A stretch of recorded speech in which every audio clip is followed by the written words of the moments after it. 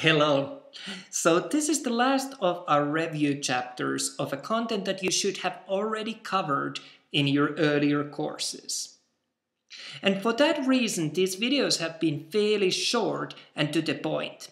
If at any stage you feel that you might need a little more detail or are not sure about what I'm referring to when going through these videos, please go back to your original materials. So, in our last chapter, we reviewed the most important parts of a generalized model of a cell. But cells do not exist alone in the body. In fact, there are a few organisms that are made of only a single cell. These are known as unicellular organisms. But for the most part, most living organisms are multicellular. This means that they are made of many cells. In case of a human, there are approximately 30 to 40 trillion cells, depending a little bit about the size and age of an individual. But this number alone gives us a cue that it is a lot. And therefore, all of these cells must work together. So let's talk about tissues. So individual cells are specialized. We saw in the last video that there are over 200 different types of cells. Remember, the one that we looked at was just a general model. And each of these cells performs specific functions typical to that cell. And tissues instead are groups of similar cells in the same area. And these cells share similarity in their structure, but are also similar in a way that they perform together a shared function in a body. Well, the field that studies tissues is known as histology. And this is important to make life easier, we commonly categorize tissues in one of the four major tissue types. We have epithelial, connective, muscle, and nervous tissues.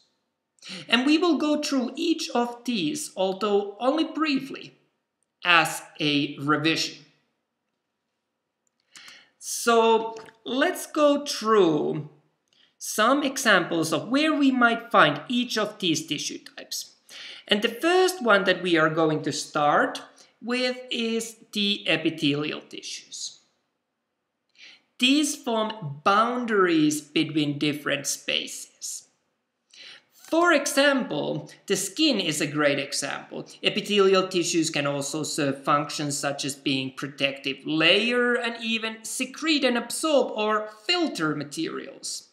To me, all of these sound pretty applicable for the skin's role.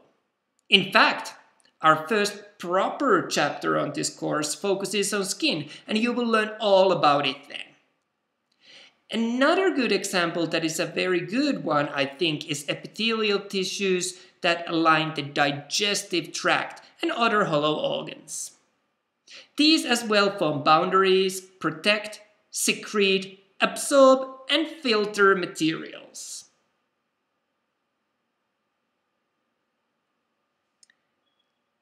Let's look at connective tissues next. This is an incredibly varied group, but I have picked some examples to get us started. Connective tissues do often what the name suggests, connect things, physically or physiologically. So these provide support, of course protection, and bind other tissues together. When I think of all these characteristics, one that comes to my mind is obviously bones of the body. Some of these carry weight like femur, while others, like bones of our thoracic cavity, this is chest cavity, protect delicate organs by enclosing them inside. Think of a brain. The skull is a great protective casing, right? Well, Tendons are another great example of connective tissues. They bind muscles to bones. And my final example here is fat and other soft padding tissues. Fat tissue, known as adipose tissue, serves an important role, for example, protecting delicate internal organs, so some is good. There are other special cases of connective tissue, like blood, where surprisingly is classified also as a connective tissue. But we will leave those for later. Now, let's have a quick look of muscle tissues. What do muscles do? Well, their main function is to contract in order to result in a movement to be generated. That's all that they do to put it very simply. And there are different kinds of muscle tissues, three types in fact. Skeletal muscles are attached to bones, and these are typically the largest muscles that you can think of. Like here, we can see skeletal muscles bulging under the skin. Well, we can also have cardiac muscle tissue. This muscle tissue type is found only in the heart, and it is characterized by a rhythmic contraction which enables our heart to pump blood around the body. And then we have something known as smooth muscle. These muscle masses typically line walls of hollow organs, like in this example.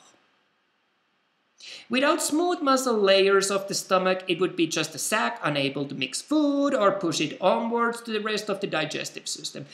And we also find smooth muscle around blood vessels to control the vessel diameter. The fourth and last tissue type that we will look at quickly here is the nervous tissue. Nervous tissues are all about internal communication within the body. And a couple of examples that I have picked here are your brain, of course, this big lump of nervous tissue. And I also wanted to include the spinal cord and nerves, which are a little like the wires connecting electronic appliances in your house to the electric sockets. So, that's our four basic tissue types as a review. And in the next video, we will look just briefly each of these in a little more detail. So that's it for this video and I will see you in the next one.